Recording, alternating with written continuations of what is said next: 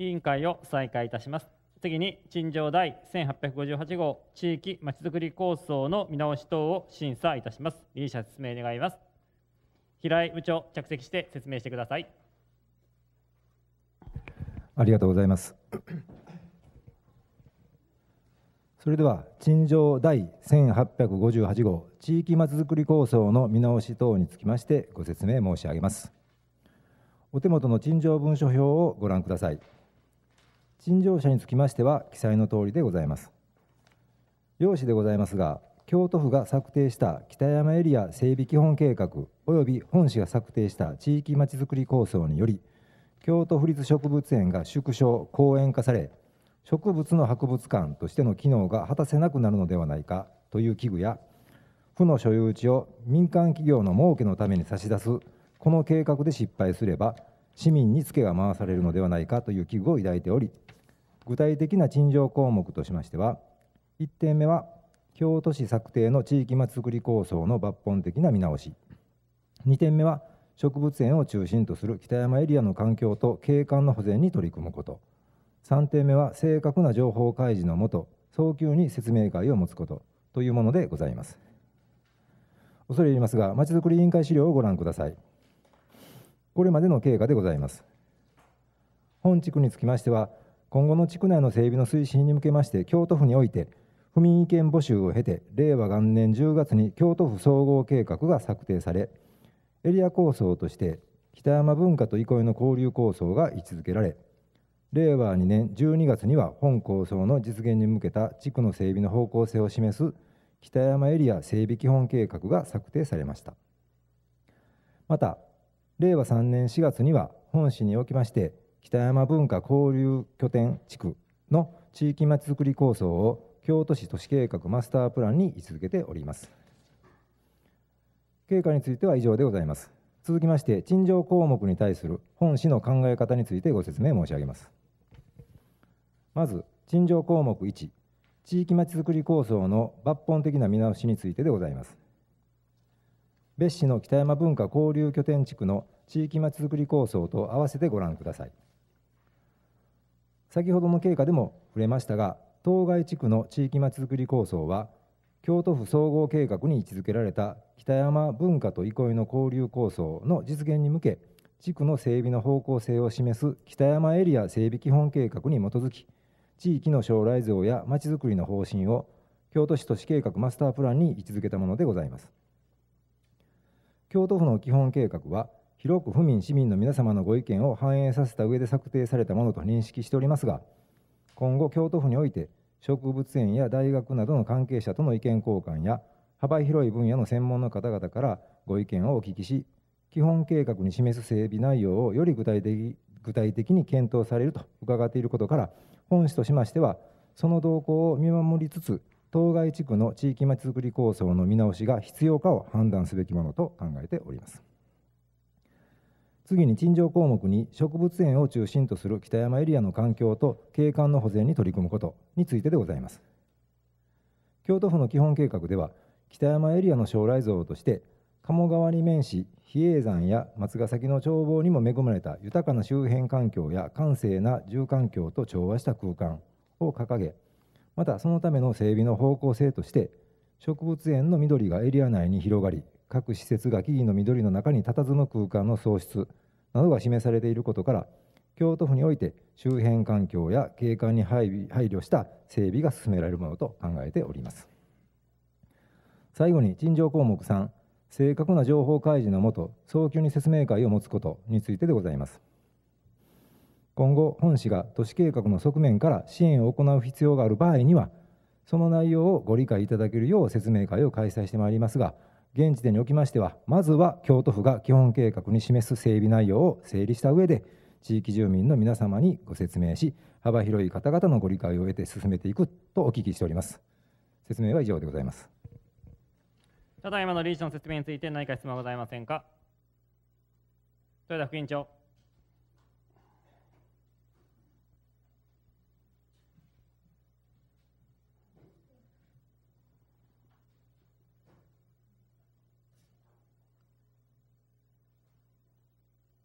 豊田委員長。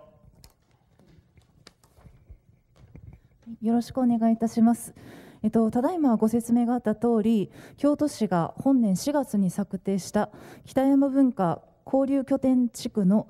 地域まちづくり構想は京都府がパブリックコメントもされた京都府総合計画や北山エリア整備基本計画に基づき、え、地域の将来像やまちづくりの方針として位置づけたものと理解をしております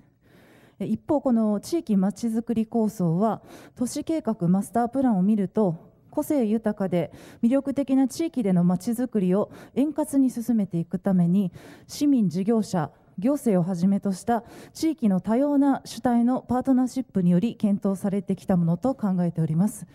そこで改めて、えー、とお伺いさせていただきたいのですが、えー、と今回の地域まちづくり構想の元となる北山エリア整備基本計画はそもそも京都府が地域住民の声をどのように聞いて策定されてきたものなのかまた京都市としても地域まちづくり構想に位置づける際それらの声をどのように確認されていたのかお伺いしたいと思います。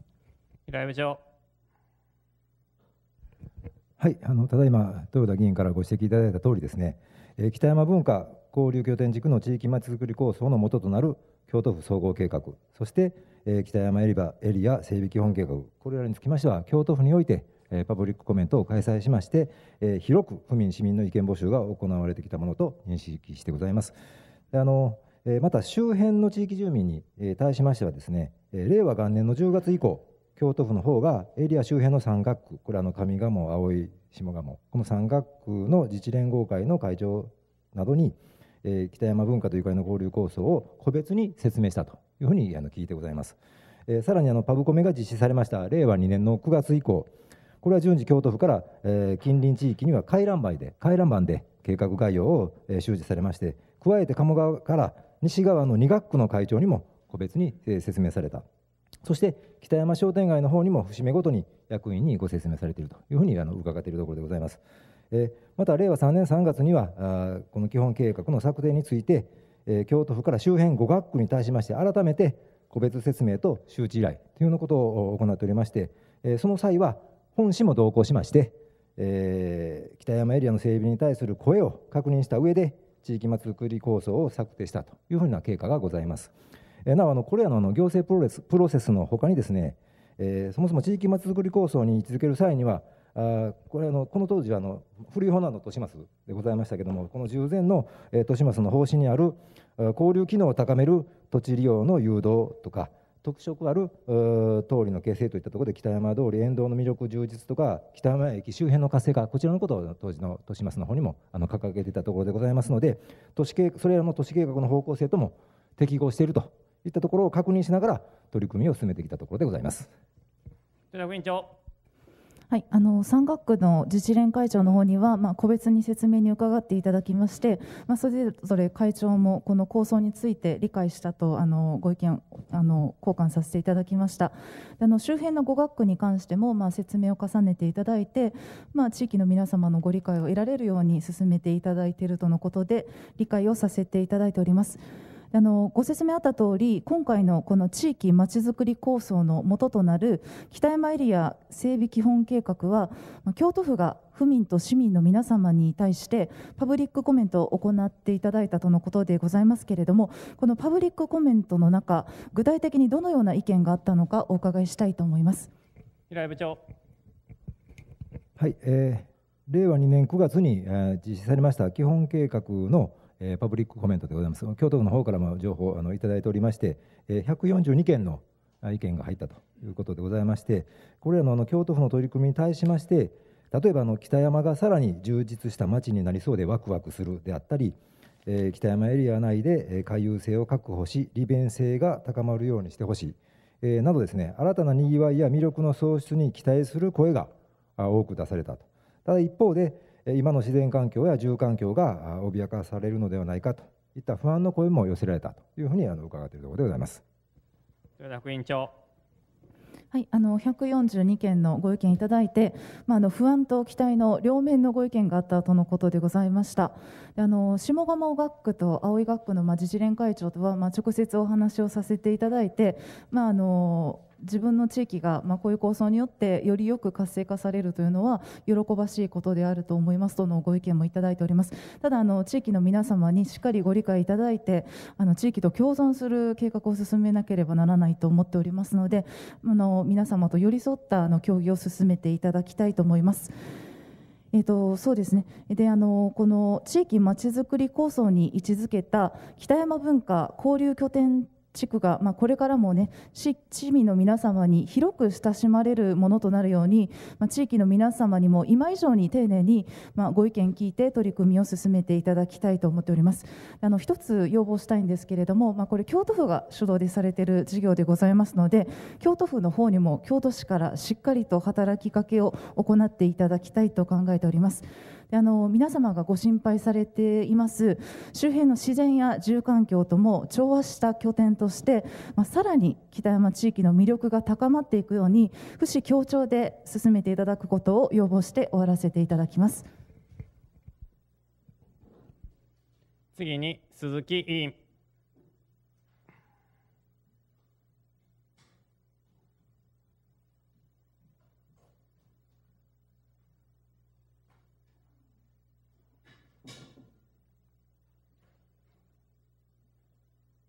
鈴木はい、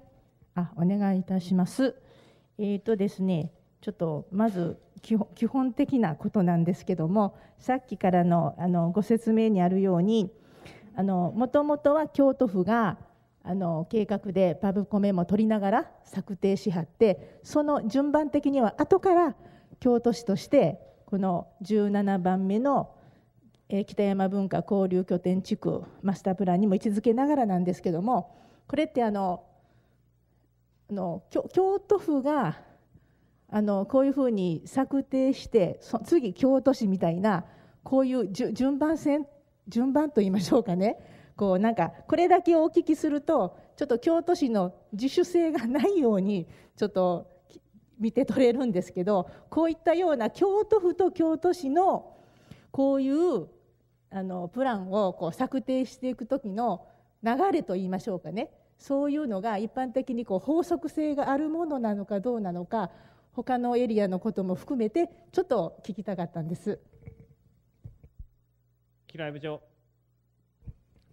えー、府都市の役割分担でその、えー、エリアの事業ごとに変わってくるかと思いますけれどもあのこのエリアにつきましてはあの、えー、かか囲っているエリアの中がほとんどですね京都府の施設でございますので京都府の方があの計画を立てて京都府の整備計画に基づいて進んでいくということで本来あの京都市の方がタッチする部分ってあまりないかと思いますけれども先ほどあの豊田議員のあのご質問の時にもご答弁させていただきました通りあのこのエリアについては豊島区の方のもともとのその北山駅周辺のことの考え方もございますのでそちらの方と合致しているかという意味合いであの相談また府からも相談いただいていますので見ているということとそれから今後ですね京都府がその施設を整備していく上で何らかの都市計画の支援が必要になるということも考えられるかと思うんです。その時に地域まちづくり構想に続けて豊島区のきちっと位置づけしておこうということで都市計画として位置づけたということでございます。鈴木はい、えーと、そしたらあの、まあ、そもそもがこのエリアは京都府の持ってはる建物やいろんなとこなんで当然京都府が最初にあのという、まあ、そういうことはあの理解するんですけどでもあの京都市としてもこのエリア位置づけはったんでこの具体的にはこの今回いろいろと計画してはる中でここの分野はしかし京都市が直接担当しますとかあの計画も考えますとか費用も伴いやっていきますとかそういうのは今後出てくるのか今もあるのか今後出てくる可能性があるのかどうかそういう点はどうでしょうか？平部長あの詳細な整備計画の方をすべて京都府から聞いているわけではございませんのであの確定的には申し上げられませんけれどもあのほぼあの京都市の方からあの京都市が自らやることはないというふうに考えてございます。はいわかりましたで次次はちょっと認識というかねあの今回出された陳情の、まあ、お願い事というか以下を願うということは123とあるんですけどこういった陳情の中のポイントというか心情というか思いでね一番私も本当にそうだなと思った内容がありましてつまりあの植物園というねあのものというか考え方であのご存知やと思いますけどあの植物園そのものの危機を訴えておられる、まあ、専門家の方々も日本中にも多いですし特に直接府立植物園のあの元園長されてる方お二人で元副園長されてはった方の3人さんがあの10月5日にあの府庁の中でね記者会見されててそこで計画への懸念やこう問題点をねこう表明されていると思うんです。多分あのよく認識していただいているとは思うんですけど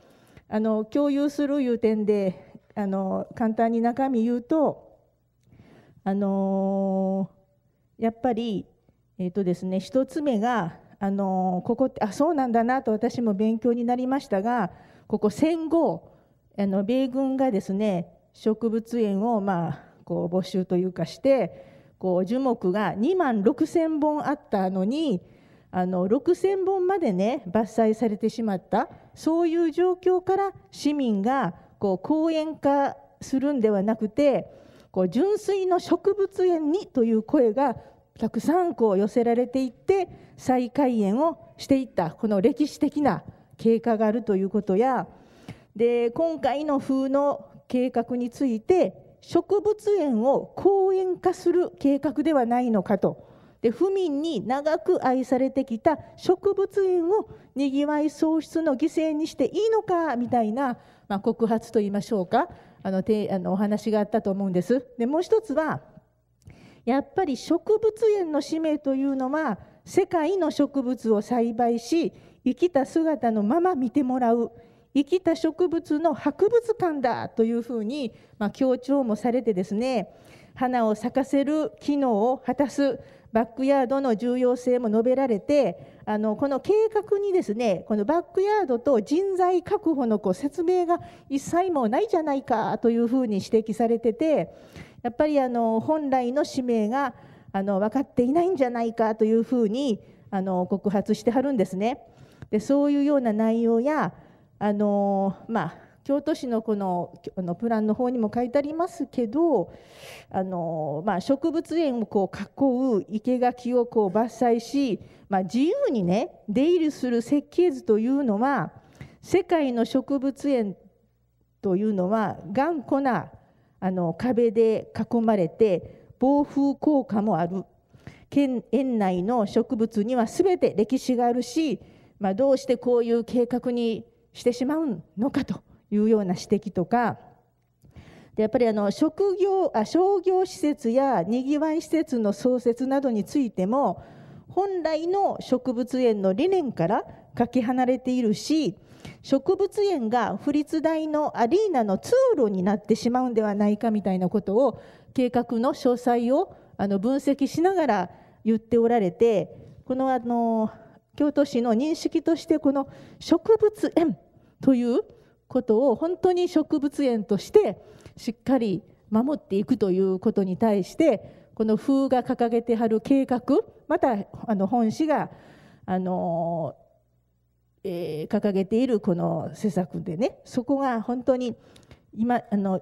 まあ、しかも今度あの100年を迎えると言われてますのでそういうものがしっかり担保されていくんだというあの分析というか自信を持ってそこはあの確認されているのかどうか。今日の京都新聞にもあのまさにあの記事でねあの府立の植物園で高さも草さも世界一ということでこう世界のやっぱりそういうものを植物園がやっぱりしっかりご紹介もしていくという記事もありましたしちょっとあの今回の陳情の中でこのポイントとなるこの植物園とただの公園にしていったんではダメなんだというところでの京都市がしっかりとそこが大丈夫です。というようなこう何て言いましょうかね。認識しっかり持てておられるのかどうかそこについてお聞きしたいんですが。平井部長。はい、あのその名の通り京都府立植物園でございますのであの京都府の方であのしっかり考えておられることですので京都市の方からあの何かこうあるべきやというようなことはあのご答弁はあの控えさせていただきたいと思いますけれども、ただあの京都府の方もですね、この基本計画の内容につきましては、整備の方向性を示したもので、整備内容が確定したものではないと、現在も引き続き幅広い分野の専門家の方々のご意見をお聞きしている、で府民の皆様に向けて説明もしていくというふうなことをあの話あったというふうなことで聞いてますので、これからあのまたそういうふうなことで広く意見聞きながらあの考えていかれることになるかと思っております。鈴木。はい、ぜひですね、今言われたように、まだまだ計画の決まったわけではないところで、さっき、まあ、あの地域の語学への説明や自治連の会長さん等々の声はあったんですけど、ただ本当にあの懸念する声や大丈夫かという声が、どんどんどんどん今、実は広がってて、まあ、陳情出されている、あのこの会の皆さんも含めて、いろんな方々が、あの心配する声を大きく今発せられてますしあの専門家の方々もやっぱり全国からねやっぱり京都京都の、まあ、植物園の在り方いうことでは注目あのされてきているのででしかも京都市のそのここの あの私もこう将来像とか方針の中の豊かな自然に包まれた環境ということや植物園の緑が地区内に広がり各施設が木々の緑の中に佇む空間の創出とかなってるんだけど果たしてこういうことと他の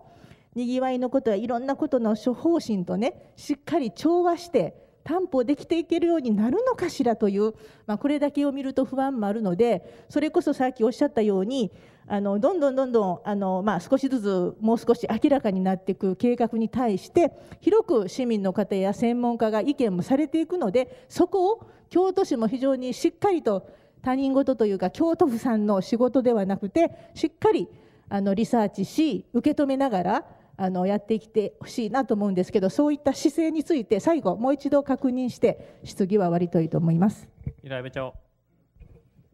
はいあのえーと、京都府の方では、えー、植物園が豊かな自然環境に配慮しながらエリア全体や周辺地域と連携調和したものとなるよう幅広い意見をお聞きしながら整備内容を検討していきたいと考えているというようなことであのお答えいただいておりますので我々はその今、えー、京都府がそのように考えていくということについてしっかりとあの見守ってまいりたいというふうに考えてございます。鈴木で見守りながらさっき言はったように京都市独自に少し待ったここはということがあったらそれはそれでしっかり意見もしていただきたいなということを要望して終わります。他にございませんか？なければ本件は陳情ですのでこの程度にとどめます。それでは次の一般質問に関連のない理事者はこれでご退席願います。お疲れ様でした。次の一般質問につきましては休憩室に行いたいと思いますのでご了承願います。それでは準備が整いますまでしばらくお待ち願います。あ、違う。はいはい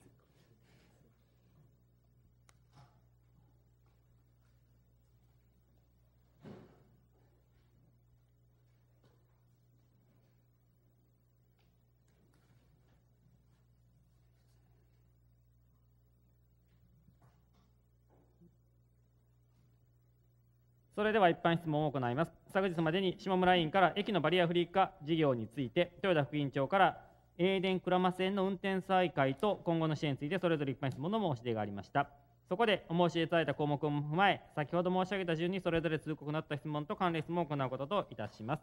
この一般質問の質疑時間は答弁を含め1人当たり10分以内といたしますので、10分以内に質疑を終了していただきますようご協力をお願いいたします。また、関連質問も同様の取り扱いといたします。なお、お申し出のあった方以外の委員の質問は、当該質問に関連する内容以外は認めませんので、ご承知おき願います。それでは一般質問を行います。まず駅のバリアフリー化事業について下村委員どうぞ。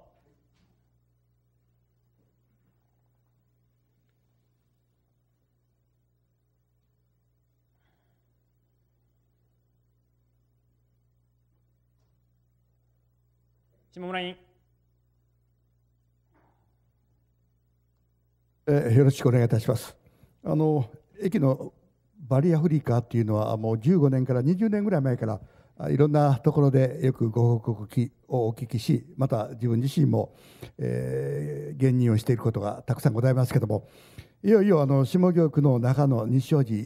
JR 日照寺駅のバリアフリーも来年の3月、えー、完成するということで、えー、南区下京区それぞれの住民の方あるいは利用者大変、えー、嬉しく思っているというお声はたくさん頂戴いたします。そこで改めて24年近くバリアフリー駅になってますけどバリアフリー化事業が進んでますけどあとこのバリアフリー協定駅のごめんなさい駅のバリアフリー化事業がどの程度残るのかあるいは今後の課題そういったことについて改めて確認したいと思いますけどよろしくお願いします。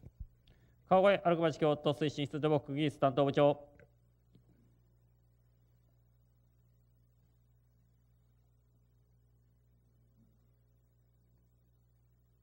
はい、えー、駅のバリアフリー化に関しましては、えー、私どもあの、えー、2つ目の計画となります、えー、計画を平成23年度歩く町京都交通バリアフリー全体構想として策定しておりましてその中で1日の乗客が乗降客が3000人以上ある駅とその周辺について各関係機関と連携しながらこれまで、えー重えー、重点的にバリアフリー化を進めてきたところでございます。下村委員。あの取っかかりは10万人以上とかあるいは5000人以上3年以上とこういう段階で、えー、駅のバリアフリー化進んでいると思うんですけどこのバリアフリー化の対象としている市内の駅について改めて現在の進捗状況についてお聞かせいただきたいと思います。川越部長。はいえ現在のところですが、え先ほどご紹介のありました、え JR 西大路駅並びに、え京阪の鳥羽街道駅で現在バリアフリー化工事を進めているところでございます、えその2つの駅が、え完了いたしますと、え京都市内における乗降客が3000人を超える駅のすべてに、えバリアフリーが完成するという段取りになってございます。下村委員。えー、分かりました。あの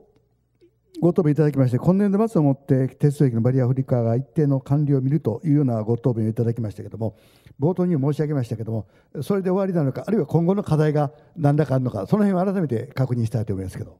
川越部長。はい。えー、鉄道駅のバリアフリー化にしましては、今後の課題といたしまして、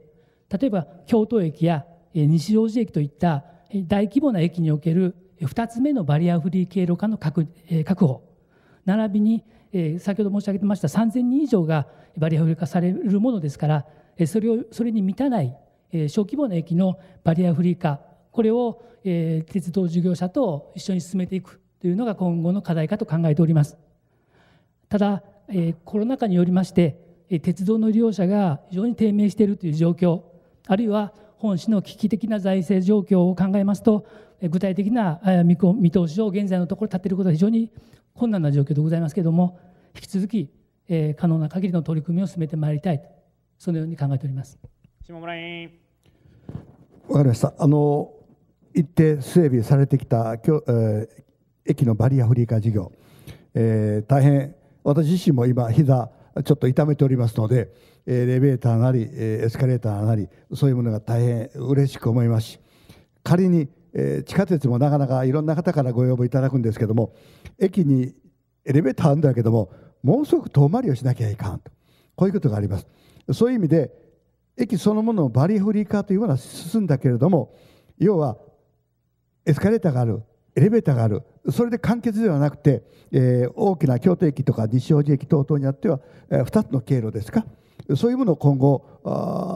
新たに進めたいということは私も含めて多くのこれから高齢化社会になってきますから、まあ、小さなお子様でも家族でも含めて大変喜ばしいことではないかというふうに思っております。まあ、しかしながら昨今京都市の財政また国の懐も含めてなかなか厳しい状況もあろうと思いますけどもやはり鉄道のサービスというのは安心安全に大量にそして快適にこれはもちろんベースでしょうけどそこへ到達する駅そのものが環境が良くてそして駅へ行けばえー、ホームへ素早くバリアフリーで行けるとかさまざまなことがかかってこようかと思いますのでまあ一定駅のバリアフリー化事業を進めてこられたというふうには今ご報告を受けてます。過去の町の議員会でも何度もお伺いをしています、えー、大変、えー、私ども高い評価をさせていただいているところでございますけれどもまあ引き続き、えー、超高齢化社会あるいは小さな子どもさんたちも含めて障害をお持ちの方々も含めてえー引き続き利用しやすい駅づくりといいますかそのためには財政の問題さまざまな課題が承知、えーあることは承知しておりますけどあの知恵を絞って、えー困難を克服していただいております。あの日本電産の長光会長が私が消防権を持って研修を受けたときに、えーある大手の会社、自動車会社がなぜ倒産したか、そこには何百人という博士を博士号を持っている方がおられると、その原因は、頭のいい方は、できないという理由は、マントを述べることは大好きだけども、できないことに対してどうチャレンジするかという、その辺の悲しいから、えー素質、あるいは教養が、教養じゃないですね、勉強が少し足らないのではないかという、まあ、そういう意味では、できる、できる、できる、できるというのを1日1000回、これはね、もう長くなったらいきませんけど、日本電産がある会社のモーターを引き受けるときに、えーある会社がこの10センチのモーターを5センチにしなさいと言われて、そんなことできないの分かったんですけど、分かりましたって言って帰ったら、そんなもん社長できるわけないですよって。できないのか、今の自動車会社の話です。できないことは誰でも言えると。東大、京大の、あるいは、えー一流、二流、三流、五流のいろんな方より能力の差は最大、最大3から5倍やけども、やる気は1000倍の力の差があるから、1日1000回やれなさい。半年で6センチにされました、モーターを。そしたらその会社はなんと、6センチにできるとは夢に思わなかったということなんです。そこで契約ができて、日本電産の礎ができたということなんですけど、要は財政が厳しい、あるいはさまざまな状況がある、その中でも京都職員の知恵を絞って、えー市民のためにしっかりと汗をかいていただきたいと。自分自身の幹部研修の中のやと一旦を、えーお知らせして、釈迦に説法で申し訳ございませんけど、まあ、最終的には、これからやはりバリアフリー化っていうのは大変重要な課題でありますので、えーお金がかかるものになればどうかからなくて、あるいはえー技術的に無駄な難しいならどうしたらいいかと、それは職員がオール知恵を絞っていただいて、市民の負託に応えるような、えー駅のバリアフリー化事業をさらなる新しい形でお進めいただきたいということ、強く求めておきます。まあ、これまでの感謝を申し上げて御礼申し上げます。ありがとうございました。よろしくお願いします。この件に関連しようがにございませんか？なければ次に、えー、エイデン鞍馬線の運転再開とその今後の支援について豊田副委員長どうぞ。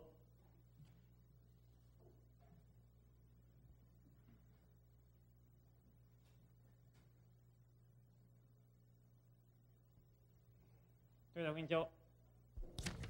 はい、よろしくお願いいたします。えっと、エーデン鞍馬線の運転再開と今後の支援について質問させていただきます。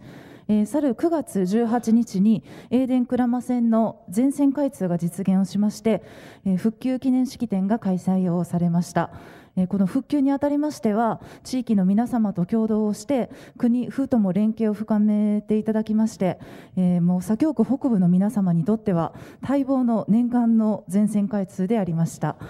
えーでこの開通当日は、まあ、踏切の音が鳴る日常に、まあ、久しぶりに皆様感動されまして、まあ、電車が通るあの景色を、まあ、写真を撮っている人もたくさん拝見しましたもう地域としても大変喜ばしいもうあのすごい華々しい9月18日でございました。であのまずはじめにここに至る経緯はどのようなものであったのか改めてお伺いをしたいと思います。川越部長。はい、えーこの件に関しましてまずあの令和2年の、7月8日、えーエーデン鞍馬線の、えー二ノ瀬木舟間で、えー大雨による土砂災害が発生いたしまして、えー市原駅から鞍馬駅までの間が通行不能な状態になったというものでございます。復旧に向けてはまず、京都府京都府が、被災した斜面について地産事業として安定させる工事を実施いたしました。まだ現在工事中でございますけれども一定の安全が確保された段階から、永山電鉄が本市や国京都府の支援を受けながら、鉄道施設の復旧工事を並行して実施するということで、被災から約15か月を経て運転再開に至ったというものでございます。豊田副委員長。はい、あのこの15ヶ月という、まあ、長期にわたってこの市原鞍馬間が運行不能でございました、まあ、この永山電車は観光だけでなく、まあ、沿線住民の皆様にとっても日常生活に不可欠な鉄道でございました、まあ、この運休期間中住民の足はどのように守られたのか改めてお伺いをしたいと思います。青部長はい、えー鞍馬線が、え、運行を余儀なくされておりました期間でございますが、え京都え、民間の京都バスが、え、市原鞍馬間に臨時バスの路線を運行させました、え、このバス路線を、えー、英電の利用者につきましても振り替え輸送にも利用するということで、え、その期間沿線住民の足を守ることができたものというふうにお聞きをしてございます。委員長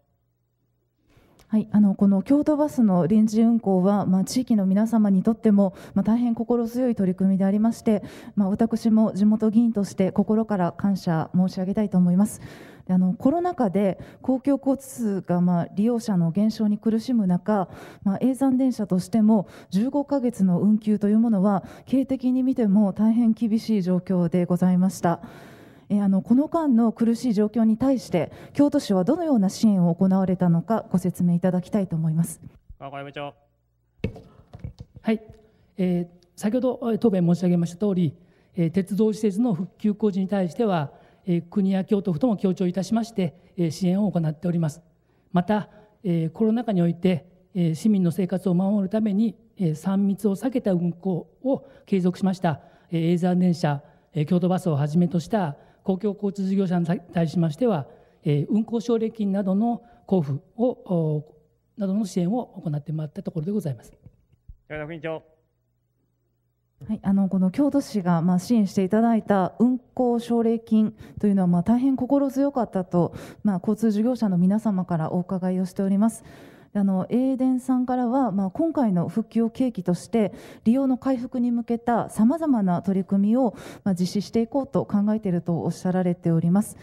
あのこの山間地を走るこの英電は自然災害によって運休不能な状況が発生しやすいという特徴を持った鉄道でございます。まあ、京都市におかれましては、まあ、ただいま答弁された支援に加えまして今後とも建設局による道路防災ですとか、まあ、産業観光局による林業林業の振興ですねとか、まあ、全地を挙げて総合的な支援で、まあ、地域の公共交通を支えていただくよう求めて質問を終わらせていただきます。この件に関連して他にございませんか？なければ以上で都市計画局を終わります。リーシャご苦労様でした。次の建設局につきましては休憩室に行いたいと思いますのでご了承願います。それでは建設局のリーシャが参りますまでしばらくお待ち願います。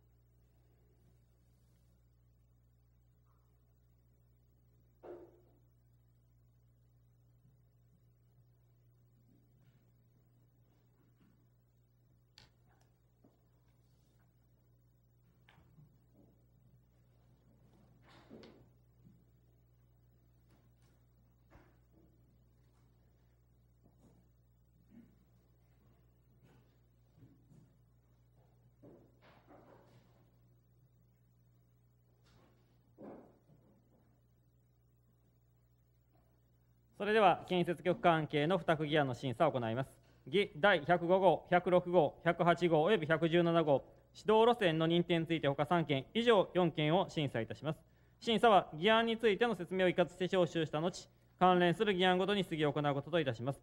それでは、リーシャ説明願います。今井建設企画部長、着席して説明してください。はい、ありがとうございます。それでは、建設局関係の付託議案につきましてご説明をいたします。議案説明資料冊子ナンバー1の35ページ、35ページをお開き願います。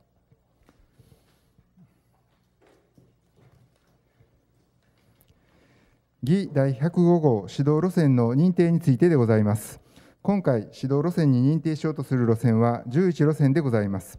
1、本市が京都都市計画、都市計画事業、数人北部第二地区、土地区画整理事業の施行により建設した道路が2路線でございます。36ページに地図を添えております。次に、えー、議37ページでございます。2、都市計画法による開発行為に伴い建設された道路が8路線でございます。38ページから43ページにかけて一図を添えております。次に44ページをお開き願います。3、既存の指導路線の廃止に伴い指導路、えー、当該指導路線の一部に変わるべき路線として認定しようとする路線が道路が1路線でございます。45ページの一図の下参考図をご覧ください。深草井54号線は右側の丸印から左側の三角印までを結ぶ路線ですが、このうち右側の再認定区間と左側の点線部分の残存区間と認定道路として残し、中間の実線部分のみ道路機能が失われているため、廃止しようとするものでございます。このため、次でご説明いたします議第106号で、丸印の起点部から中間の実線部分までを一旦廃止した上、本件議第105号で、左側の再認定区間のみ、深草 E54 の1号線として新たに認定するものでございます。続きまして、えー、議の47ページをお開き願います。議第106号指導路線の廃止についてでございます。今回廃止しようとする路線は9路線でございます。1、京都都市計画、都市計画事業、数人北部第二地区、土地区画整理事業の施工地区内にあり、当該事業の施工に伴い不要となった道路が1路線でございます。48ページに地図を添えております。次に49ページでございます。2、現に道路の機能が失われ、かつ隣接土地所有者から廃止の申請があった道路が8路線でございます。50ページから56ページにかけて一図を添えております。なお、55ページの案件につきましては、先ほどの不覚載54の1号線の再認定に関連した案件でございます。続きまして、議の63ページをお開き願います。議第108号、町の設置及び町の区域の変更についてでございます。この議案は本市が施行する上鳥羽南部地区土地区画整理事業の完治処分に伴い、町の設置及び町の区域を変更しようとするものでございます。まず64ページの3、施工地区内の町名町会変更案をご覧ください。本変更案につきましては、地元からのご意見等を踏まえ、令和3年6月に京都市町名町会変更審議会へ諮問し、ご審議いただいた結果、7月に答申をいただいたものでございます。67ページに変更案を図面でお示しをしております。63ページにお戻りをいただきまして、1、町の設置でございます。南区において、吉祥院、石原、東の口町など13町について、町名を変更することにより、新たに町を設置するものでございます。次に2、町の区域の変更についてでございます。南区において、吉祥院、永田町など20町について、隣接する土地を編入するなど、町の区域を変更するものでございます。また、伏見区において、武田、向城町など3町について、隣接する土地を編入するなど、町の区域を変更するものでございます。3、実施予定は令和4年8月に予定をしております完治処分の広告の日の翌日からでございます。続きまして、え恐れ入りますが、議案説明資料のナンバー2、議案説明資料の、ナンバー2の17ページをお開き願います。ナンバー2の、17ページでございます。議第117号一級河川七瀬川遊水地整備工事請負契約の変更についてでございます。1、契約締結の経過でございます。現契約は一級河川七瀬川の治水安全度を高めるために、都市基盤河川改修事業として河川の付け替え工事を含めた遊水地の整備工事を行うため、令和元年12月13日付で議決をいただき、他の慶婚特定建設工事共同企業体との請負契約を締結したものでございます。2、契約変更の理由でございます。現契約の締結後、次の事情により契約内容の一部であります請負金額を変更する必要が生じたものでございます。括弧1、土留め材の使用変更及び作業方法の見直しに伴うもの、あ、土留め材の使用変更に伴うものでございます。遊水地の掘削にあたりましては、周囲の家屋及び道路等に影響を及ぼさないよう土留め剤を設置をしています。工事着手時の事前調査により、当初の想定よりも土質が軟弱であり、土留め剤が自立しない箇所が判明したため、外周の土留め剤である高野板の長さを変更するとともに、土留め剤の規格を変更し、交換矢板の追加、およびライナープレート工を実施する必要が生じたものでございます。19ページの工事概要図をご覧ください。この図で赤い線でお示しをしておりますところが土留め剤の施工箇所でございます。設計の際に図中の緑色の丸でお示しをしております3箇所で土質調査を行い、土質に問題は見られませんでした。この設計時の土質調査とは、ボーリングマシンにより地下水の水位、地盤の状態を詳細に調べるものでございます。次に、工事着手時に青色三角三角印の14箇所の地点で事前調査を行ったところ、茶色の四角で囲まれました2箇所の範囲で軟弱地盤の土層があることが判明し、土留め材の長さや規格等を変更する必要が生じたものでございます。この工事着手時の事前調査とは、土留め剤を打ち込む杭打ち機を使用し、地盤の状態を把握するものでございます。この図におきまして、土留め剤の長さを変更したところ、2箇所、それぞれ25.2メートル、25.8メートルは青色でお示しをしており、規格変更の2箇所、交換や板の追加、ライナープレート鋼の実施につきましては、緑色でお示しをしております。恐れます。17ページにお戻りをいただき、2、括弧1、作業方法の見直しに伴うものでございます。工事着手前に実施をしました家屋調査の結果を踏まえ、南側に近接する家屋の影響を少なくするため、掘削工事の後に予定をしておりました管理用侵入路の土留め剤を先行して施工することとしたことから、高野板を打ち込む長さ、打ち込み長を変更する必要が生じたものでございます。19ページの工事概要図でございますが、黄色で打ち込み帳変更と記載をしました2箇所でございます。恐れます20ページをお開き願いまして、管理用侵入路の土留め剤の作業内容変更でございます。当初は図面の上のように、丸1、外周の土留め剤を打ち込んだ後、丸2としまして、池の底まで掘削をし、その後で丸3、管理用侵入路の土留め剤を打ち込む計画をしておりましたが、南側の家屋への影響を少なくするため、図面の下にありますように、管理用侵入路を掘削しないで、先に丸3の土留め剤を打ち込むことに変更したものでございます。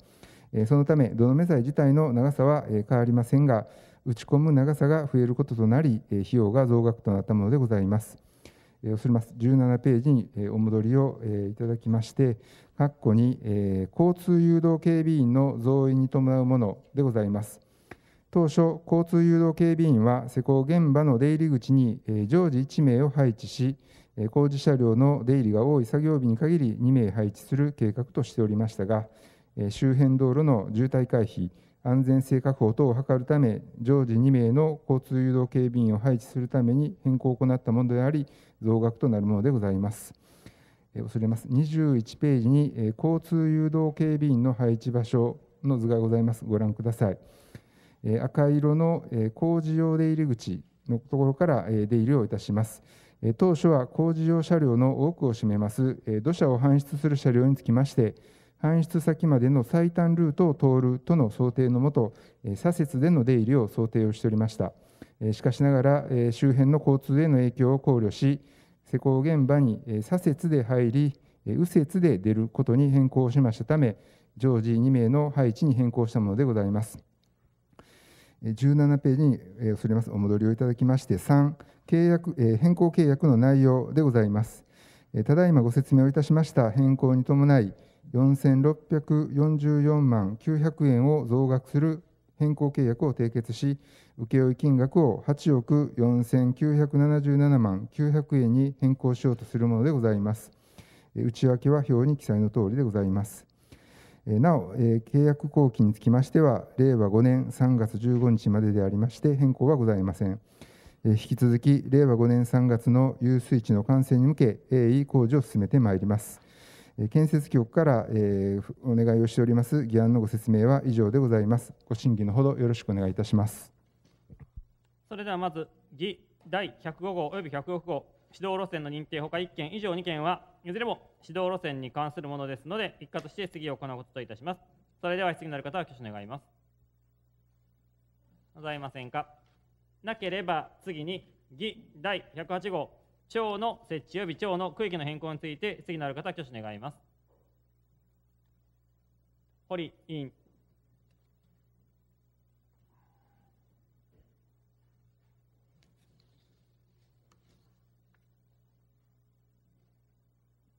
堀委員。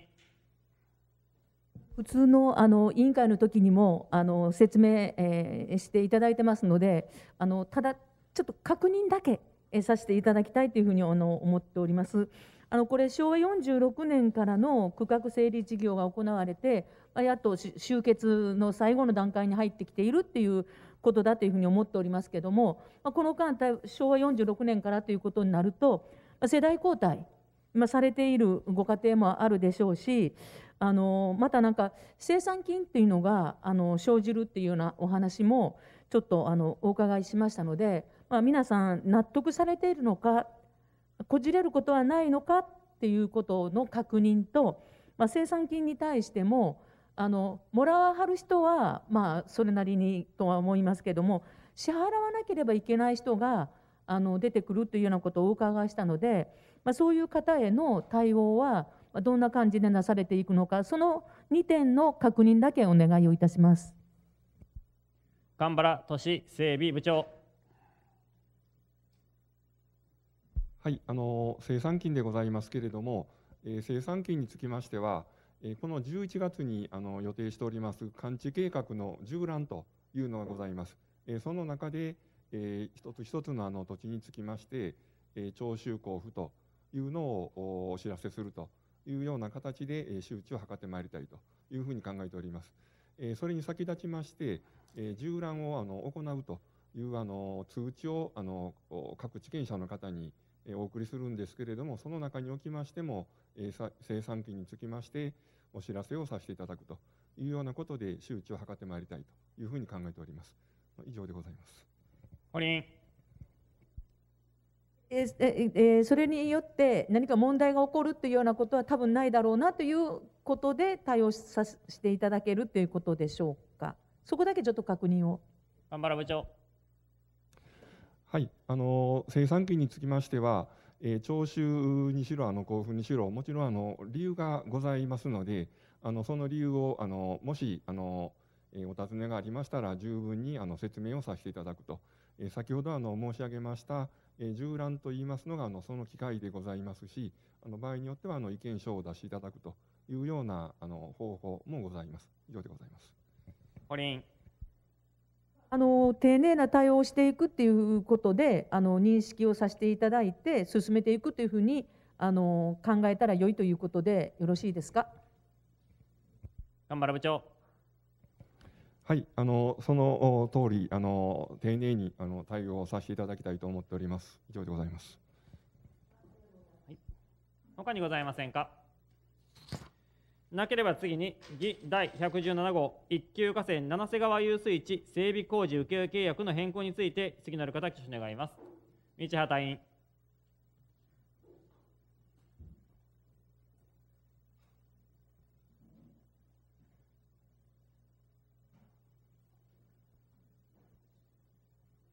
道畑委員。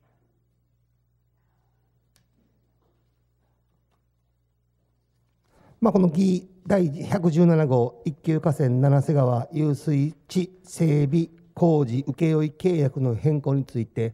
まあ、あのこれに関しましてはあの7月29日の、えー委員会において、まあ、報告があって、まあ、詳細も、まああのーお話ししていただいたんですけれども、まあ、8月12日の委員会では提出された資料に基づきまたさらに議論をまださせていただきました。まあ、この議論を踏まえて、この9月議会の司会にあの契約変更の議案が、まあ、あの提出されたんですけれども、まず、この遊水地の効果と、改めて効果と、またこの現在の工事の進捗状況について少しお伺いしたいなと思います。小川道府管理部河川え防災担当部長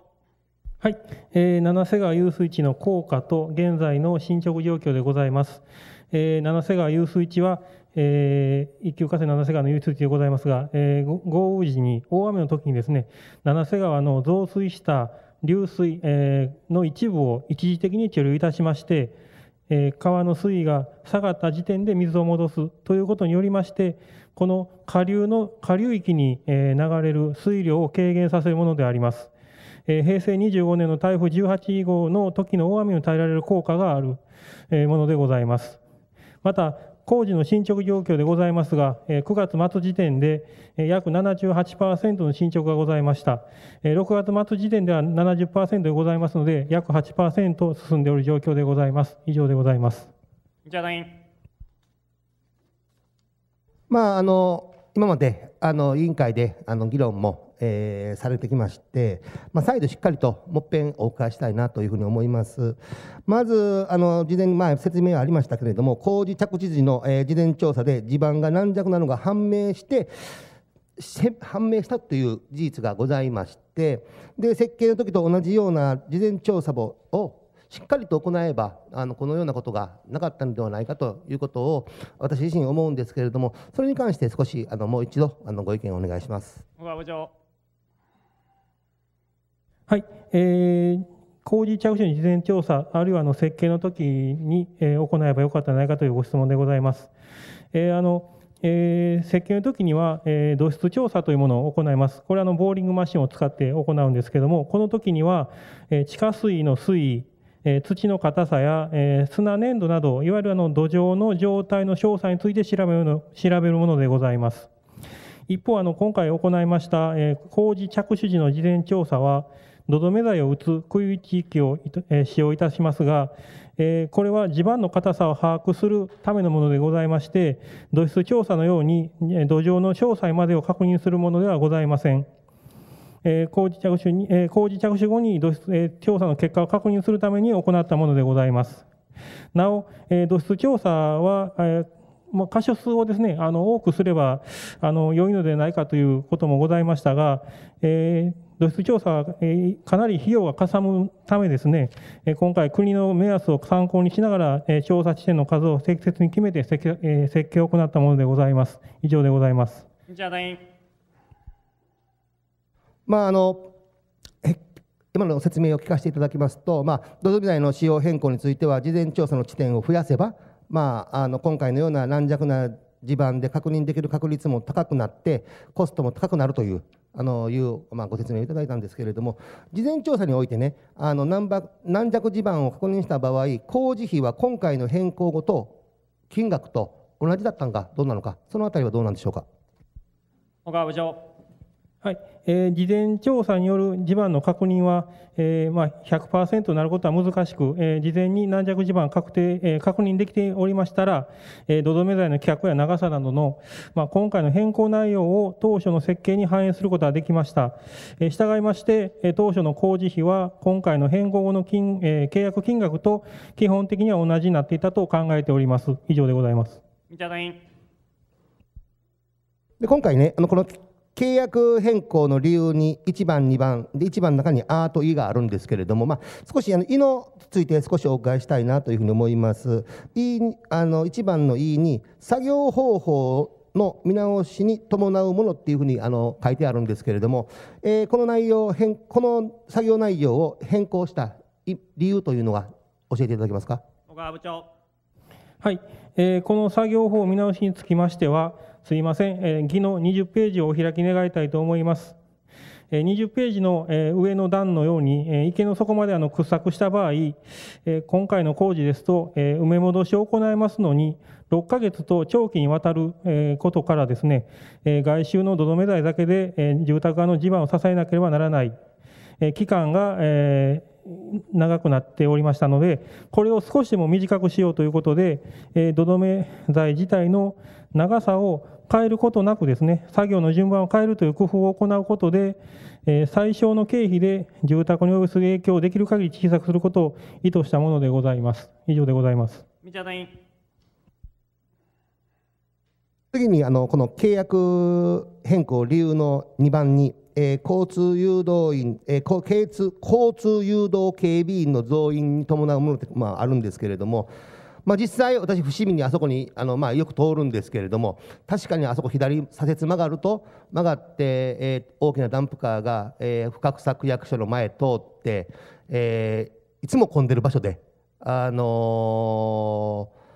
それで本町通り入ったところでも、いつも混んでるところなんですけどね、それはもう物理的に考えてね、やっぱりちょっと、ちょっと山科回る方が、しっかりとやっぱり交通の利便性も良くていいっていうふうに、普通に考えたら分かるんですけれども、あのやはり現場の状況やこれまでの議論を踏まえると、ガードマンを1名で対応することは、やっぱり見込みが甘かったのかなというふうに思うんですけれども、そのあたり、どうなんでしょうか？小川部長。はい、えー交通誘導警備員の配置についてでございます。えー設計の時点におきましては、周辺の交通状況を十分に勘案することなく、えーまあ、ご指摘のようにあの、えー単純にですねあの処分場までの最短ルートとして左折の出港を想定しておりました。えしかしあの今、すみません、先生ご指摘の通りあのまああのかなり、え左折しますと、交通に影響を与えること、えさらにはあの大岩街道自体が通学路であります。えまたあの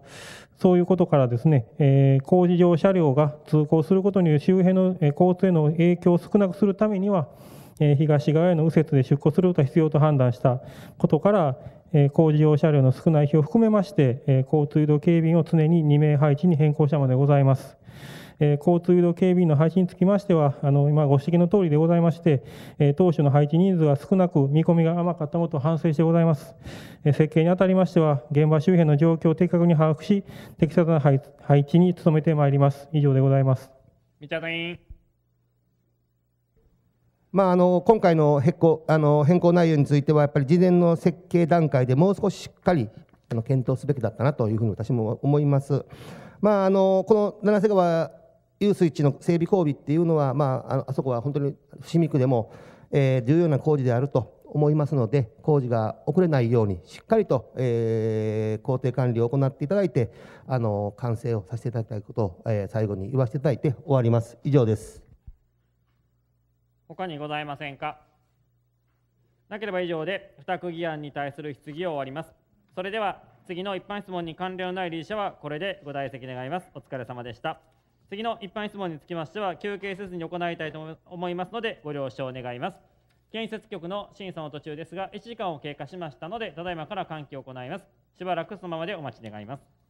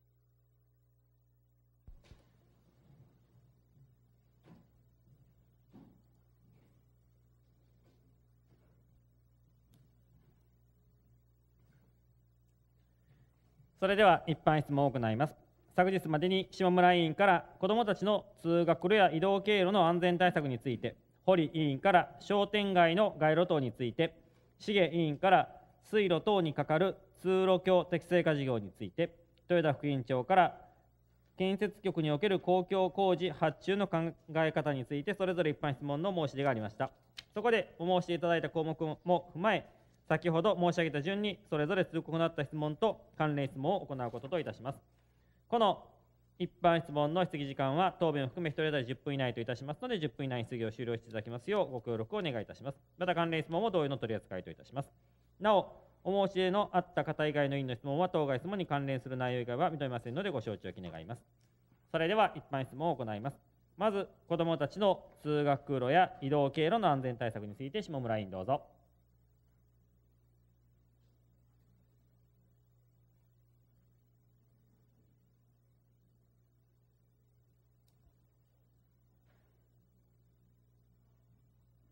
下村委員、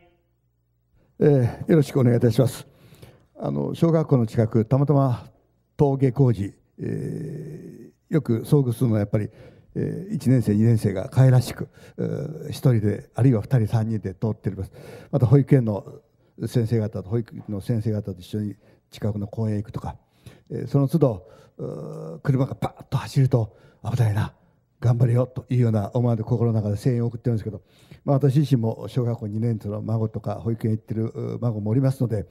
えー、ことさら我が身に繰り返ることなく全ての子どもたちが安全に日々送っていただきたいそんな思いを持って、えー、子どもたちの通学路や移動経路安全対策について改めて質問させていただきたいと思います。まあ、今年の6月ですから千葉県八街市で、えー、大型のトラックが下校下校時ですから子どもさんたちの中で5人が死傷出されてまた痛ましい事件もありました、えー、さらには平成24年に亀岡市や祇園で起こった痛ましい事故。また令和元年の大津市での事故を受け、えー、京都市でも通学路や児童の移動経路への安全対策を強く進めていただいているというのは承知はしております、まあ、その中で現在、えー、子どもたちへの安全対策についてどのような取り組みを実施されているのかまたしてこられたのか改めて確認の意味でお聞かせいただきたいと思います。藤谷部長。はいえー、現在、建設局等で行われております子どもたちへの安全対策、どのような取り組みをしているのかというお尋ねでございます。今、まあ、あの先生からあのご紹介のありましたとおり、平成24年に、えー、亀岡市や祇園で発生した事故を契機にいたしまして、教育委員会、建設局、あるいは京都府警が連携をいたしまして、えー、京都市通学路交通安全プログラム、これを平成27年7月に策定しているところでございます。小学校や地域から寄せられる情報や要望、これを関係機関で共有しながら、現在も安全対策を進めているという状況でございます。えー、令和元年度の大津市の事故の関連につきましても、えー、通学路の安全対策と同様に、保育園から移動経路の課題箇所についてご意見をいただいておりまして、令和元年度に補正予算もお願いして、速やかに実施可能な約150箇所これにつきましては、令和2年6月にすべての対策を完了しているという状況でございます。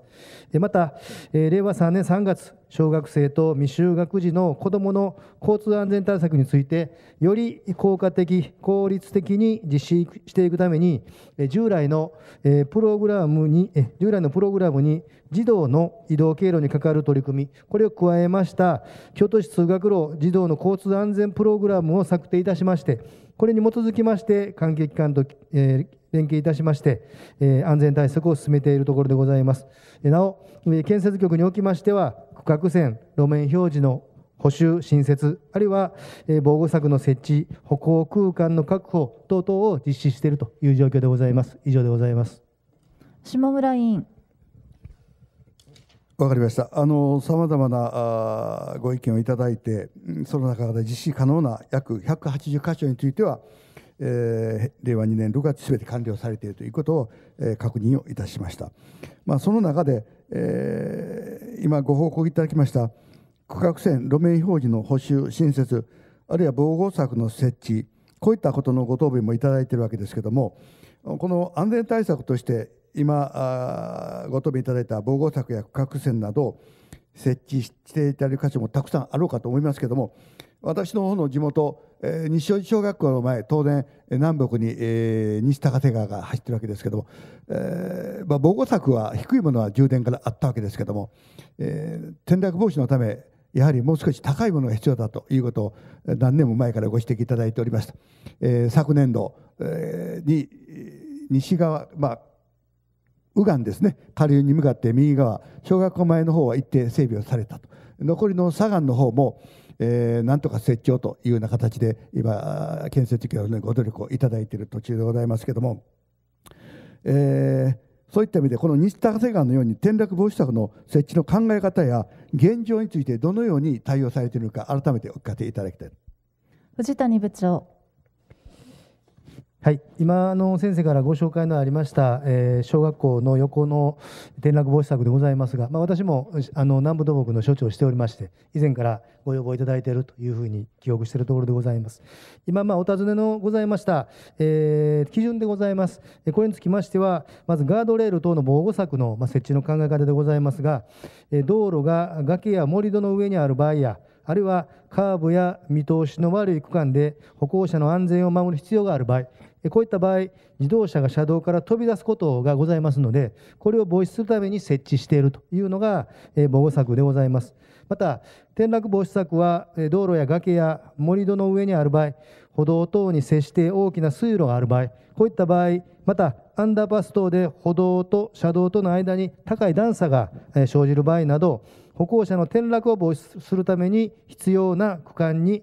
えー、基準を定められた高さを確保して設置していると。いうところでございます。また整備状況でございますが、えー、具体的な設置区間につきましては、えー、京都市通学路児童交通安全プログラム、先ほど申し上げました枠組みによりまして、えー、学校からの要望や地元からの要望、また、えー、我々土木事務所における道路パトロール等によって把握した、えー、状況を踏まえまして、えー、順次整備を進めているという状況でございます。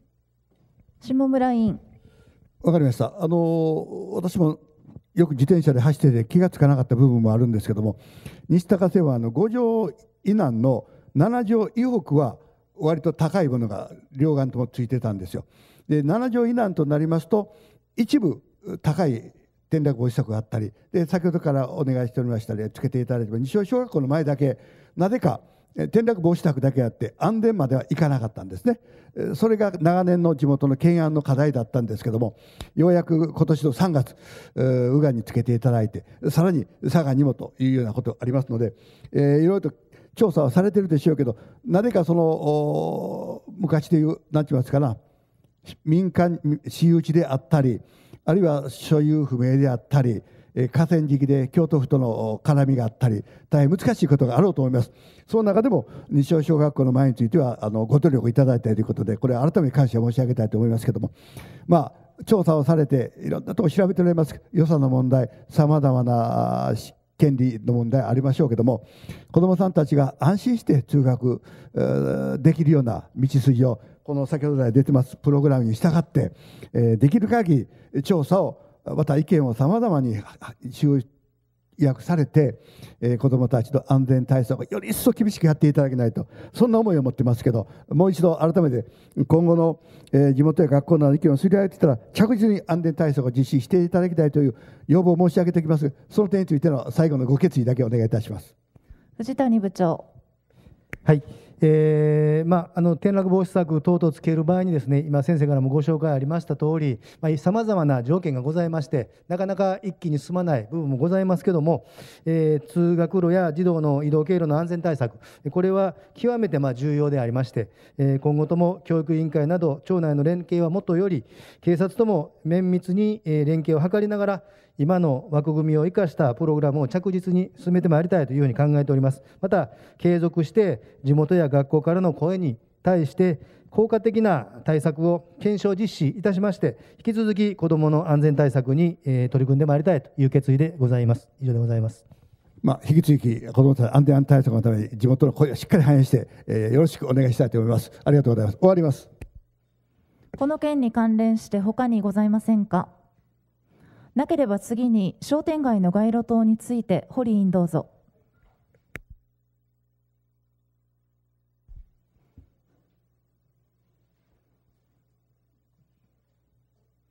堀委員。すいませんあの商店街の街路灯について以前にもあのお話しさせていただいてて、まあ、難しいということはあの存じ上げているんですけれども言わざるを得ないというそういう状況も分かっていただいて聞いていただきたいというふうに思っております。あの商店街どんどんそのお店がねあのなくなっていくまあ、そこにあのお家が建っていくというようなことであったりあるいはその駐車場になったりというような、まあ、そんな状況があの続いていっているというようなところがあって、まあ、商店街その商店商店街だけで街路灯を維持していくっていうのがなかなか難しくなってきているっていうところもあって商店のそこの商店街に属しているそのお店の人からもねこれなんとかならないのかっていうようなことをまあ聞いている聞くというようなところがあるんです。でこれおそらくねあの私右京のあの常盤の地域なんですけども、まあ、常盤野のその商店街だけじゃなくてもっとあの他にもねあるんじゃないかなっていうふうにあの思っているんです。で、まあ、あの産業観光局とそれからあの、まあ、商店街を活性化するためのアドバイザーみたいな方と一緒に来てね商店街のお話を聞いてもらったというようなことが実際にあのあって私もちょっと同席させていただいて、まあ、話あの言わせていただいた私じゃなくてその商店街の方があの現状などを伝えたというのがあるんですけどもう本当に街路灯だけをなんとか維持しているという、まあ、商店街というのもある、うん、私が知っている商店街はそういう商店街であるんですね。で、あのまあ、始める時はおそらく街路灯をつける時に支援があったんじゃないかというふうに思いますし、まあ、それぞれあの思考を凝らしたあの街路灯になっている。で例えばあの大英通りなんかはあの映写機のね形をしたあのものがついていて街路灯になっているとかねあのそれぞれのところでなんか、まあ、すごくあの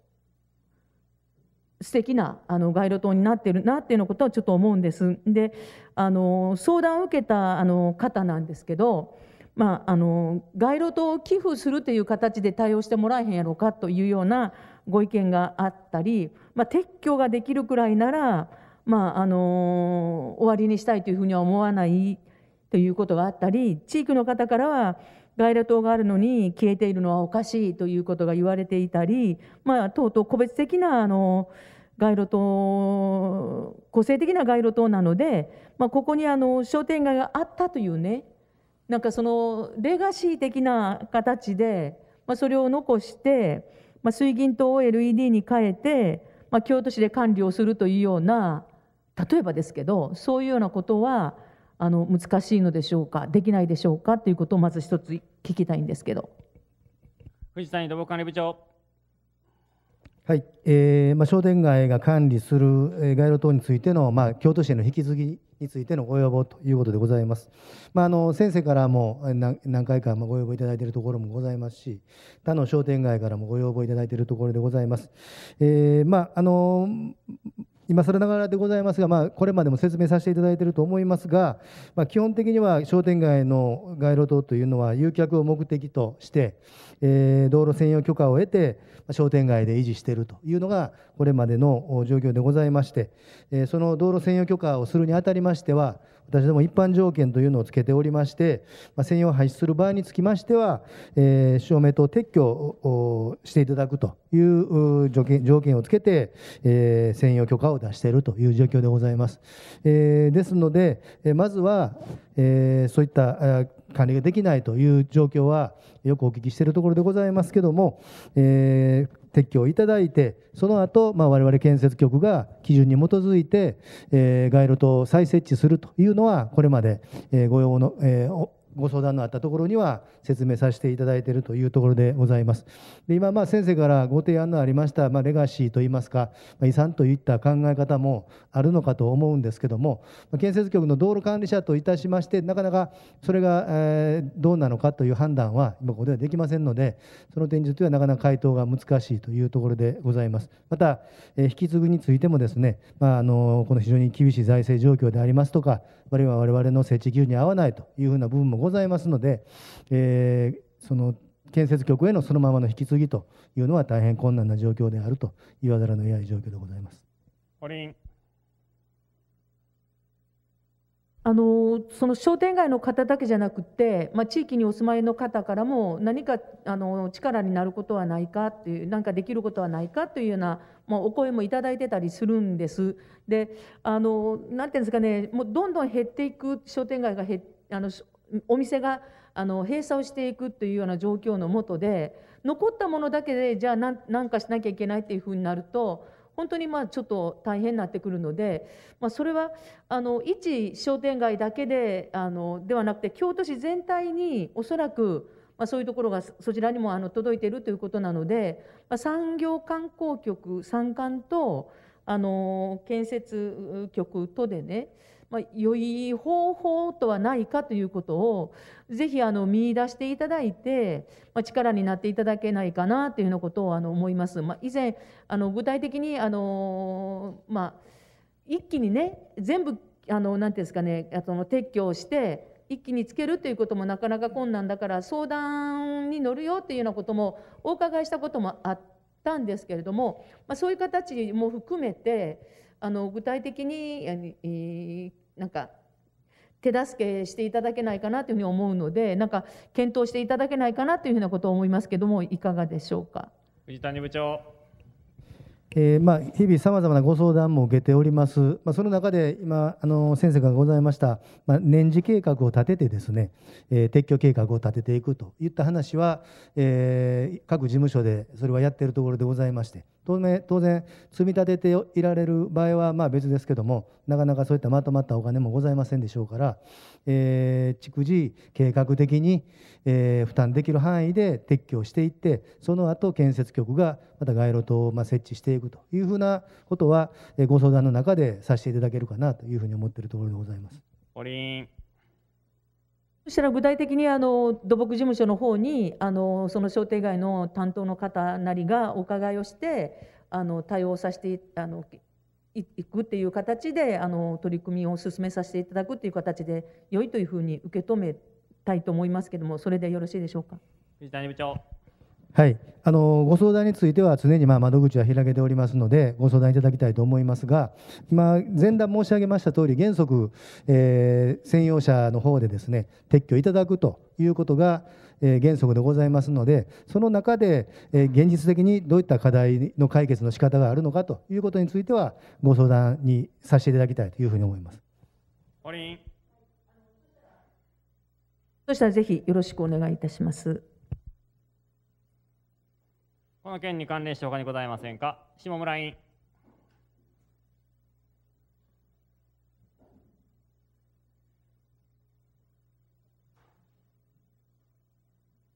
下村委員。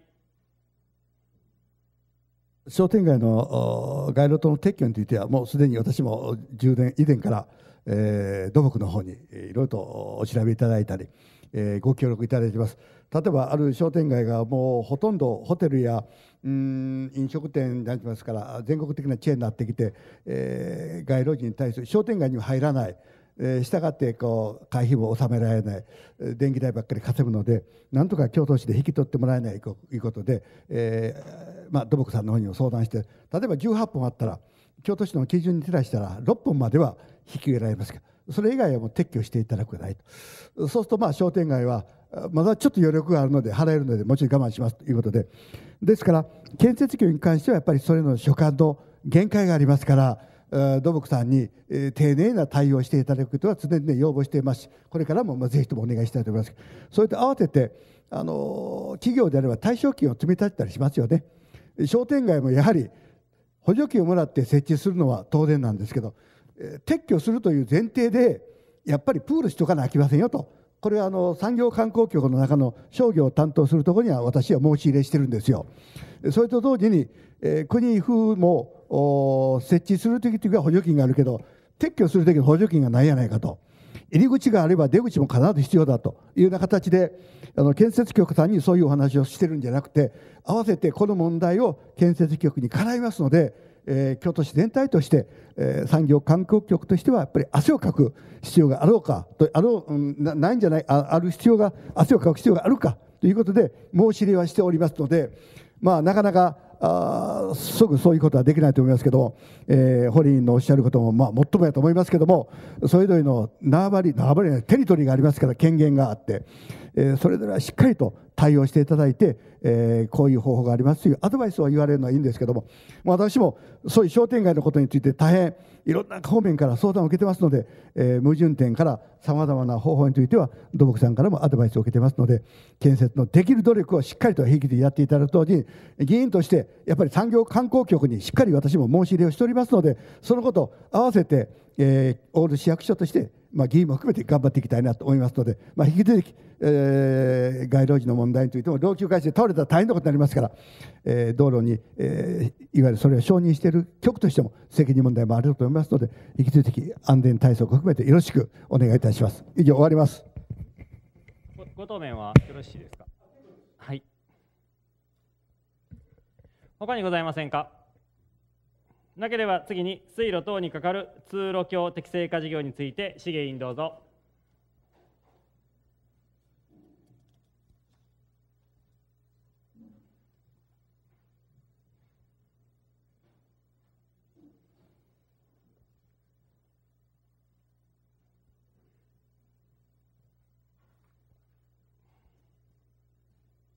資源員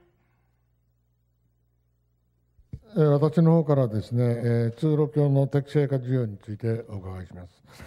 本市が管理する水路については、国が実施した地方分権の取り組みの一環として、平成17年4月以降は、国から本市に移管され、京都市水路等管理条例が策定されたものであります。また、これらの水路には個人と個人などがですね所有する宅地などに入るための簡易な橋が架けられていたということです。しかしながら、府が管理していた時から基本を満たない通路橋や専用料が未納の事案が、事案などが安心安全はもとより、えー、公平感の、えー、確保が重要な課題になったものと認識しております。えー、このような状況を踏まえて、全市で対象対象として平成28年度にスタートし、令和2年度末までの5年間で集中的に実施された通路橋適正化事業について質問いたします。えー、まずはですね、えー、令和2年度までの取り組みの成果について概要をお伺いしたいです。長尾部長。えー、通路橋適正化事業の概要についてでございます。え本市が管理する水路等において、え専用許可が得られてない通路橋が、ま多数設置されていたことから水路等の適正な管理と専用料にかかる負担の公平性を確保するため平成28年度から令和2年までの5年間の完了を目指し全市を対象として本事業を進めてきたところでございます。平成2年度末時点の進捗状況は建設局が所管する水路等にかかる通路橋約3830件のうち約700あ3780件の適正化が完了し、まあ、適正化率は事業着手前の約43%から約99%になったところでございます。以上でございます。資源委員まあ、決算のあれで見て、えー、書類に99%で書いてあったからよほど自信にみなぎったなと思って、えー、進捗が図れたことは評価いたします。でまあ残りの案件についてもですね粘り強い指導を行ってほしいと思いますけれどもところでこの5年間での具体的な年度ごとの件数をお教え願います。長尾部長はい、えー、年度ごとの件数についてでございます。平成28年度末に約910件、その後、令和2年度末までに年平均約300件の適正化が図られています。さらにですね、今年度、令和3年度も引き続き適正化を進めており、新たに4件の適正化が図れています。残りの案件についても引き続き適正化を進めてまいりたいと考えています。以上でございます。資源委員まあ年年平均300件もですね適正化を図られたということはよく分かりましたで本市の厳しい財政状況を踏まえると専用料の増収は本市の大切な収入と考えております。令和2年度決算では本事業着手前と比べ専用料のはどの程度増加したかお教え願います。中尾部長。はい、えー、通路橋専用料の収入についてでございます令和2年度決算額で約2150万円となり、適正化事業前の約1250万円から約900万円の増収となっているところでございます。以上でございます。資源まあ、この事業によりですね、え年間900万円の増収となったことは、まあ、今、報告でよく分かりました。えー、ところで、え道路を車で走っているとですね、鉄板だけの通路橋を目にすることもよくあります。で安全、えー、通路ができるも、えー、できるものなのか、また落下したときにですね、水路等への影響が心配になりますけれども、許可に際してどのように、えー、確認していくかお教え願いたいと思います。長尾部長はい、えー、重議員ご指摘のとおり、鉄板の通路橋については、水路等の影響を、まあ、しっかりと確認する必要があると考えています。えー、許可に際しまして、えー、職員が一つずつ構造等についてしっかりと現場を確認し、水路への落下など支障がないことを確認した上で、えー、結果しているところでございます。以上でございます。まあ、鉄板の通路橋については、まあ、1件ずつ確認していることことによりですね、水路との安全性が確保されることがよく分かります。えー、さらに通路橋の上に車を止めたり、もえー、物置として使用することを見かけますけれども、このような案件はどのように対応されているのかを教え願いたいと。長尾部長。はい、えー、通路橋は敷地への出入りが目的であり、通路橋に車を止めたり、物を置いたりしている通路橋について許可することはできません。そのため、このような不適切な不適切な事案につきましては、これまでから毅然かつ粘り強く指導を行っており、物置の撤去などをいただいた上で、許可できるものについては許可するなどの対応を取っているところでございます。以上でございます。資源はい、わかりました。えー、それでですね水路、水路等の安全性を踏まえると、不適切な案件への指導はですね、毅然とした対応することが大切だと考えております。えー、私の地元である伏見区でも不適切な案件を見かけるが、今後の通路橋の取り組みについての決意をお伺いしたい。長尾部長。はい。えー、重議員ご指摘のとおり、えー、駐車場利用等の不適切な利用につきましては、粘り強い是正の指導を行い、毅然とした対応が重要であると考えています。まあ、今後、法的な措置も視野に入れ、しっかりと取り組みを進めてまいりたいと、このように所存を持っているところでございます。以上でございます。まあ、終わりにしますけれども、まあ、この5年間あ、厳しい事案もあったと思われますけれども、毅然とした対応で取り組んでいただきたい、えー、取り組んでいただいたおかげでですね、多くの通路橋の適正化が進んだと確信しております。えー、このまた、この事業により本市の財政にも継続して寄与していくことも分かりました。あ現在残っている案件については、これまで以上に厳しいと思いますけれども、市民の安心安全のため、引き続き適正化に、えー、努めるとともにですね、新たな無許可な事案が生じた生じることがないようにと、しっかりと取り組んでほしいと思います。えー、こういうことは、まあ、5年も経過したから、最初に、ね、事案として取り組んだとこが、もうほとぼり冷めたと。ね、でまた秩序を乱してやると、後のパトロール、これも重視して、えー、やっていってほしいとお願いしております。この件に関連して他にございませんか？なければ次に建設局における公共工事発注の考え方について豊田副委員長どうぞ。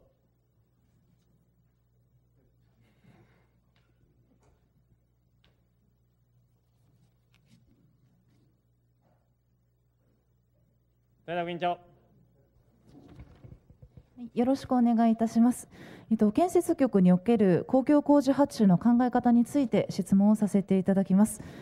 建設局におかれましては道路、河川、公園などさまざまな公共土木施設の整備や維持管理を実施されております。まそれらの整備、維持管理に関する工事を実施されておりますけれども、それらの工事を適切に施行するには、それぞれの施設に応じた専門的な能力、スキルが必要と考えております。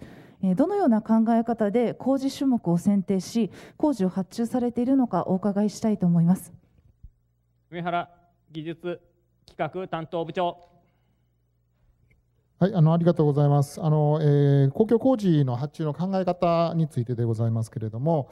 あのまあ、えー、議員ご紹介の通りですね、あの建設局ではまあ道路とか河川とか公園とかですね、さまざまなま公共土木施設の方をまあ維持管理させていただいております。でまあ、その、えー、っと公共土木施設の整備とか、まあ、維持管理にあたりましてですね、まあ、あの工事発注をまあしていくということでございますけれども、まあ、よりよくですね、確実、そしてまあ安全にですね、まあ、実施することが非常に大事だというふうに考えてございます。まあ、そのためにですね、まあ、先ほど、まあえー、と議員の方からもご紹介ありましたけれども、まあ、各々の,、まあその工事の分野におけるまあ専門的なですね能力がまあしっかりまあ発揮できるようにということで、そういった業者の方にですね適切に施工を行っていただくということからですね可能な限りですねその専門分野ごとにですね分離の方を行ってま発注するというふうにまあ努めているというところでございます。まあ、あの例えばなんですけれども、まあ、道路なんかで言いますと、まあ、擁壁でありましたりとか、まあ、あとあの河川の護岸工事ですね、こういったものについてはですね、あの土木工事業の許可を持ったあ土木業者の方にまあ発注をしていると。そして、まあ、あの道路の,、まあ、あの黒のアスファルト舗装ですね、アスファルト舗装なんかで言いますと、まあ、舗装業者の方にまあ発注をしていると。そしてまああの公園なんかにあります、まあ、その樹木のですね、まあ、植え替えでありましたりとか植栽それからま公園の遊具ですね、こういったものについてはですね、あの造園業者の方にま発注するということでございまして、まあ、できる限りですね、専門のま能力を生かしてもらうような分離発注の方に努めているということでございます。以上でございます。委員長はいあのまあ、より専門的で、まあ、専門的な能力を有する業者に、まあ、適切に施行していただけるように、まあ、分離発注に心がけていただけているとのことで、まあ、ちょっと一定安心をさせていただきました。であの今年度から東本願寺前市民緑地の整備工事がいよいよ始まるかと思います、工事種目についてどのような考え方で工事発注をされているのかお伺いしたいと思います。浅山みどり政策推進室事業推進担当部長。えー、はい、えーとまあ、市民緑地整備の工事種目の考え方についてでございます。えーとまあ、東本願島市民緑地整備につきましては、この11月から本市の一堂の車道部分を閉鎖をさせていただきまして、工事に着手をさせていただいて、えーとまあ、令和5年3月の完成というものを目指していきたいなというふうに考えています。えー、と今年度につきましては、えー、まずは既存の構造物の撤去などを行いまして、その後、えーとま、緑地内の整備なんかを行っていくことと考えております。えーまあ、その中で工事工事種目の考え方につきましては当然専門業者による適切な施工を行っていくということがまあ非常に重要であるというふうに考えておりまして発注する工事内容などを踏まえまして、まあ、適切に判断をを、まあ、させていただいて、えーとまあ、工事種目というものを定めさせていただいております。まあ、その中で今年度の、えーと、東恩賀寺の発注の中では、えーとまあ、既存構造物の撤去につきましては土木工事で発注をさせていただきまして、えーとまあ、緑地内の整備につきましては、まあ、芝生の整備とか、えー、また樹木の、えーまあ、植栽というような形で専門的な知識が必要となる内容でありますので、えー、ここにつきましては造園工事という形で発注をさせて、えー、といただくこととしております。えーとまあ、来年度以降の発注工事につきましても、えー、引き続きまして工事内容などを踏まえまして、えーまあ、適切に判断をさせていただきまして工事を進めていきたいというふうに考えております。以上でございます。それでは副委員長。はい、あの既存建造物のまあ撤去などは土木工事。であの緑地内の整備においてはまあ造園工事としてまあ発注していただいているとのことで、まあ、一定安心をさせていただきました、えーと、10月12日から一般競争入札が開始をされまして、まあ、私もこの内容を拝見しておりますと、まあ、土木工事よりも造園工事の方がまあ大きな数値となっておりますので、まあ、この名称から言いまして市民緑地ですので、まあ、あの緑政策としてしっかり造園技術活用していただだきたいなと思っております。であの、え、クラウドファンディング等のね新しい取り組みも進めていただいておりますのでよりたくさんの方々にこの市民緑地に介入して関わっていっていただきたいなと考えております。あのまあせんえーと、この市民緑地にかかわらず公共工事は、まあ、専門業者のスキルを生かした質の高い施行が必要であります、まあ、今後も工事種目による分離など適切な発注をお願いしたいと思いますあのとりわけとりわけあの造園については生き物である樹木を扱うということで専門のスキルが必要と伺っております。まあ、剪定の仕方を間違うと、まあ、樹木がすぐに枯れてしまって、まあ、植え替え等にさらに経費が必要となるという、まあ、悪循環にもなりますので、まあ、専門性の低い業者が管理されることのないよう局としても、まあ、見識を持って業者選定に取り組んでいただくことを求めて質問を終わらせていただきます。この件に関連して他にございませんか？なければ以上で建設局終わります。リーチャーご苦労様でした。委員の皆様はしばらくお残り願います。付託議案の取り扱いについてでありますが、各会派等でご検討いただき、11月4日木曜日に開会する予定の委員会で討論決了といたしたいと思いますのでよろしくお願いいたします。以上で本日の委員会を参加いたします。委員の皆様、お疲れ様でした。